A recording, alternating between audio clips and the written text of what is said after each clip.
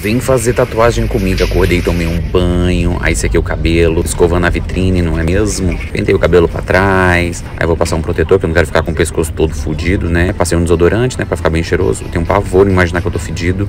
Aí perfume, puff. Aí tá, pentei o cabelo todo pra frente de novo. Agora eu vou trocar de roupa.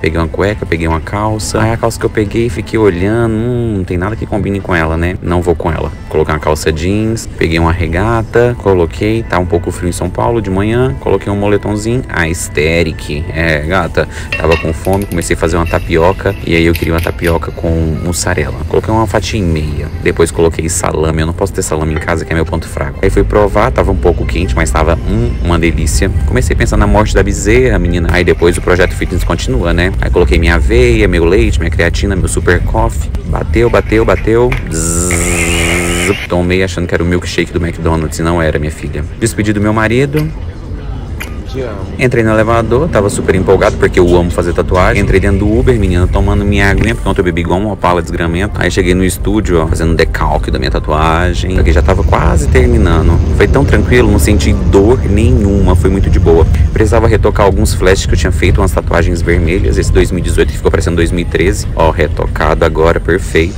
E fui arrumar o foguinho que eu tinha na virilha, porque ela é foguenta, meu bem. Nossa, e essa tatuagem aí doeu, viu? Eu nem lembrava dessa dor. E agora tô eu dentro do Uber indo pra casa, bem bonita com a minha nova tatuagem de abelha, eu fazendo pose aí pra saber como que eu vou ficar nas fotos. Eu amei. E vocês gostaram?